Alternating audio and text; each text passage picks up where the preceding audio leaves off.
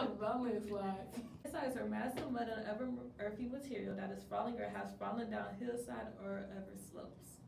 The effect landslides have on humans are property damage, injuries, and even death. Water supplies, fisheries, and sewage disposal systems, forest dams, and roadways can be damaged and affected for years. The effect landslides have on animals or that landslides destroy their habitat. Animals would have trouble finding food since the landslide would, would have ruined their habitat and would wash down plants and uh, bushes. When landslides occur, plant life can be washed down the slope and it can be also ruin or destroy the plant life. The CDC says landslides and mudslides kill an average of about 25 to 50 people in the U.S. each year.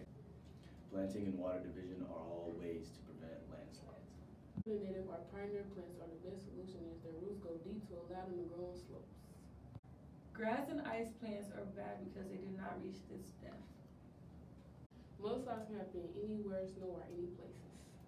Rocky Mountains and Pacific coastal ranges have severe landslide problems according to the USGS.